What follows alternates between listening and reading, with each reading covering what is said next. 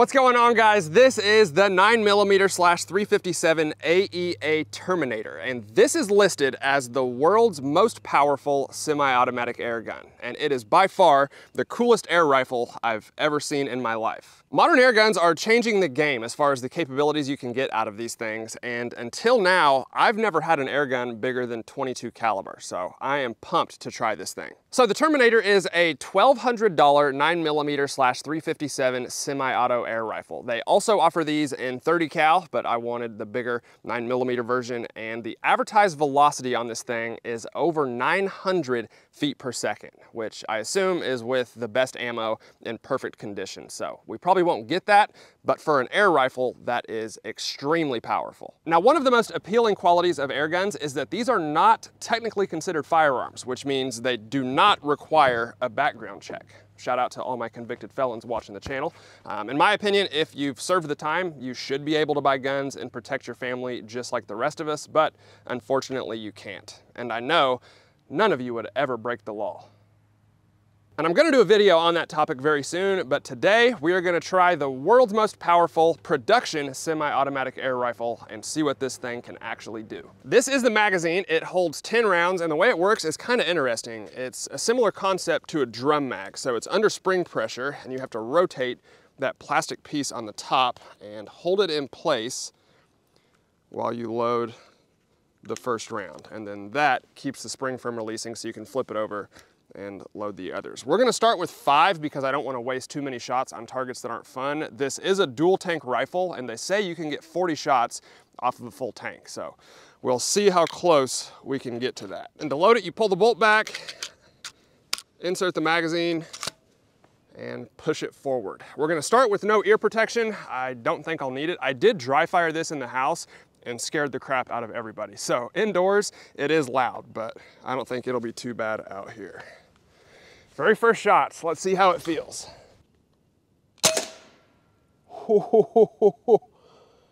That is screaming fast.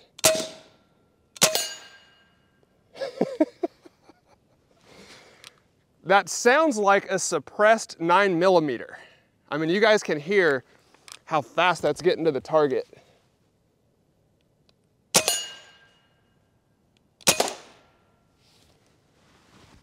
That is awesome.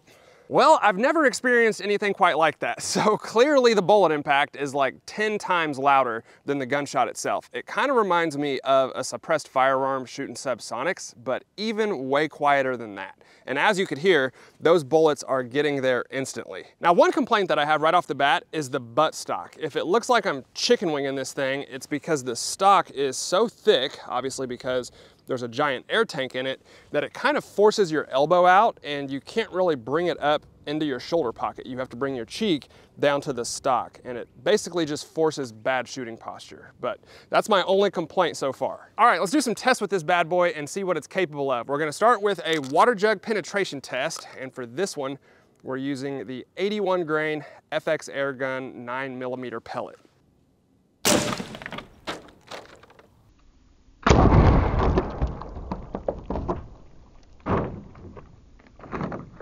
Guys, before we go any further, I wanna thank Kore Essentials for sponsoring today's video because they are the reason it was possible for me to buy the Terminator air gun for you guys. So they sent me a couple gun belts probably a month ago now, and I have been wearing them every day since. I have one on right now, and I have the leather version in my hands right here. And trust me, I am very picky about gun belts these will not disappoint you. So there's a few different options to choose from. This is their 1.5 inch leather gun belt, which is perfect for dress clothes if you don't wanna look like you're tactical and carrying. And this is their tactical nylon belt, which does look more like a gun belt. But both of these have the same ratchet system, which is possibly my favorite thing ever, and the reason that these are now my go-to gun belts. Kore Essentials was the first to create reinforced ratchet belts designed specifically for firearms. And if I flip it to the inside here, you can see the track that is sewn in the back. And this is by far my favorite thing about these belts. So what it allows you to do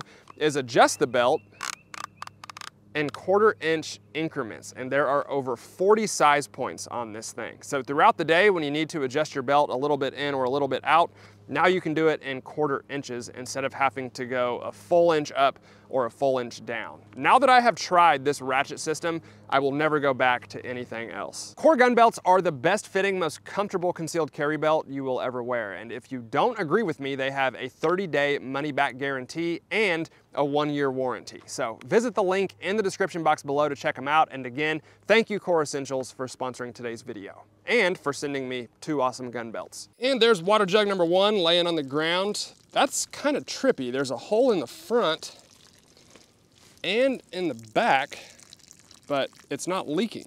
It's just a full water jug laying on the ground. Can't explain that one. If we go up onto the table, here is water jug number two, and it is leaking. That's for sure. You can see the entrance hole right there. And it actually went through the second water jug as well. So here's number three, and I can see the pellet. Don't piss on me on the bottom of that water jug. Hopefully you guys can see it as well. So straight through two and into the third. That is not bad for an air gun. I think a real nine millimeter would probably go through four or five, but that's still a lot of penetration. Well, two of those punctured water jugs are not leaking, so kind of weird, but we're gonna take advantage of it and test another round. This is the 81 grain Polymag, and you can see the difference between that and the other pellet that we just shot. I think this one is designed to expand, do more damage, and penetrate less. So let's see how it does.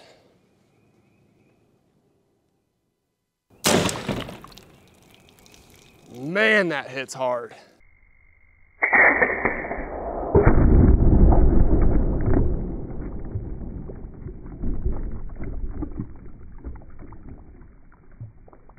And that one went in right there, pretty much emptied that first water jug. And you can actually see the red polymer tip in the bottom of that first jug. And if we look at the second one, it did go in. Once again, these jugs are not really leaking. It's the strangest thing I've ever seen. But back here, hopefully you can see that pellet on the bottom of that second water jug. So a little less penetration than the first pellet that we shot, which makes sense. And at least to my ears, that one sounded like it hit quite a bit harder and made a much louder sound on impact. Well, there's one water jug left on the table, so let's go ahead and finish it off. This is a nine millimeter hollow point hybrid slug. And apparently these are the most effective airgun rounds. Not all air guns are designed to shoot them, and I honestly don't know if this one is, but it is the right caliber, so we'll give it a shot. They say if you're shooting long range with an air gun, you want to use slugs, so probably won't help us at seven yards, but we'll try it. Man.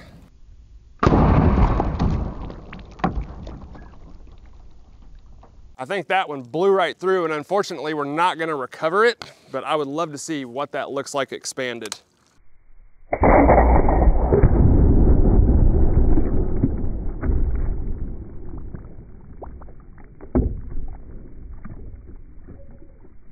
Went in right there and straight out the other side. Now this is the only bullet we have left that I haven't shot. It is the JSB 35 Diablo and it is a very interesting looking pellet. Let's put it on a clay pot and see what it does. One thing I worry about with air guns is bullets coming back, but so far we seem to be doing all right. Yes. it's powerful enough to smoke the pot, that's for sure.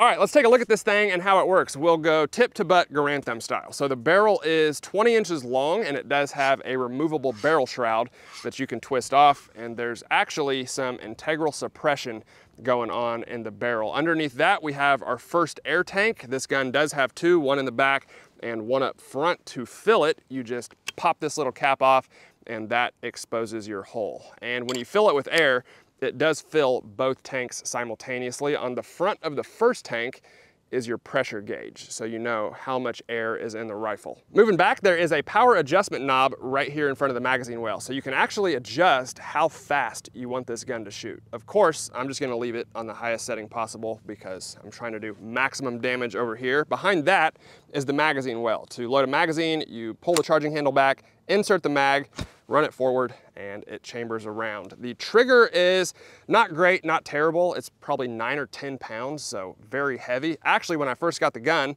I was testing out the trigger and I dry fired it in my house and scared the crap out of everybody. So it is pretty loud indoors. If I flip it over, you can see our safety right above the trigger guard. To put it on fire, you push it forward, put it on safe, you pull it back. We have a charging handle here. I put a Vortex one to four power scope on this one, so that does not come with the gun.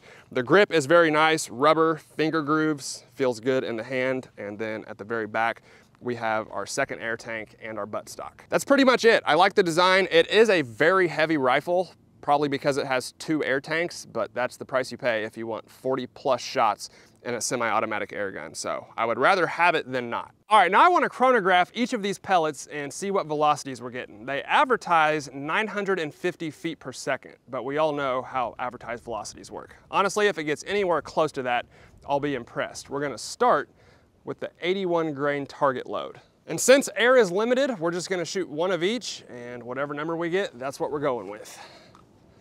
It's not the correct way to chronograph, but that's what we're doing. 809. I gotta say, for an air gun, that is still very impressive. That's about what I was expecting, somewhere between 800 and 850. Maybe with the perfect ammo and the perfect conditions, you could get over 900. But 809 is not bad. Next up, we're gonna try the 81 grain JSB Diablo. This is a hollow point, but it's also a match grade pellet, so maybe it'll give us better velocity.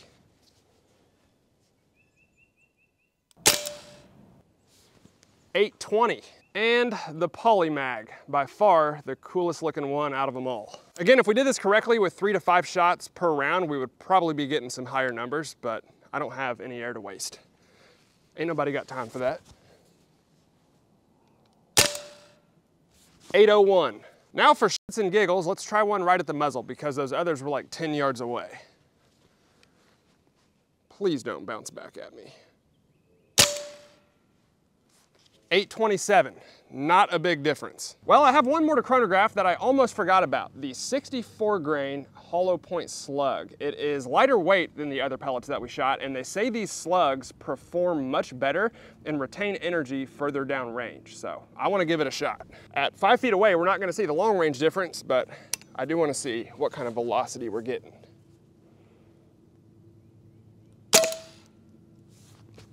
Eight fourteen. Try one more a little bit closer.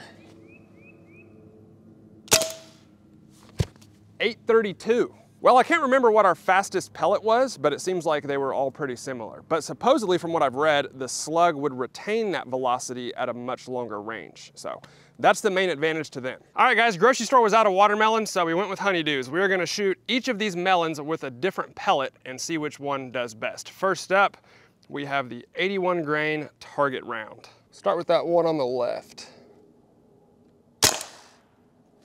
Well, looking at that hole, I feel like if that was a watermelon, it probably would have exploded. That's better than I thought it would do.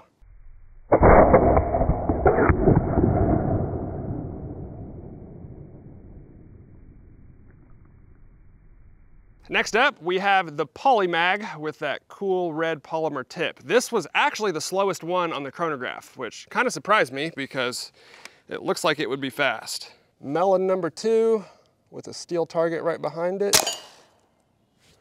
Wow.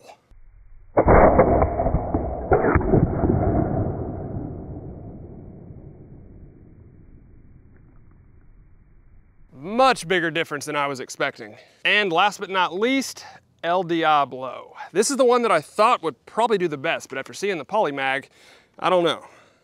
That was impressive. Go for that one all the way to the right.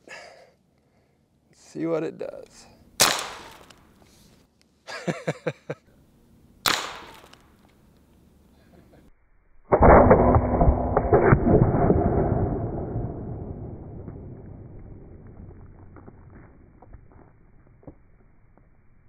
Okay, without a doubt, the Diablo threw chunks of that melon much further than any of the others. I was getting hit all the way back here, but I still think the Polymag left the biggest hole. I don't know, after watching the slow-mo, the Diablo was very impressive as well. So let's take a look at each of these melons. This was the first one that we shot with the regular target load, and you can see not bad, but definitely not as impressive as the others. That is our entrance hole there, and then a slightly larger exit hole on the back. The second one that we shot was the Polymag, and that is four to five times the size of the first one. I mean, that is a massive entrance hole. It also completely cut that melon in half, and you can see the damage that it did in there. So very impressive. And then the third one was the Diablo. That one I think looked the coolest on the slow-mo. It's kind of hard to tell out here in the sun, but it was also very impressive. You can see the uniformity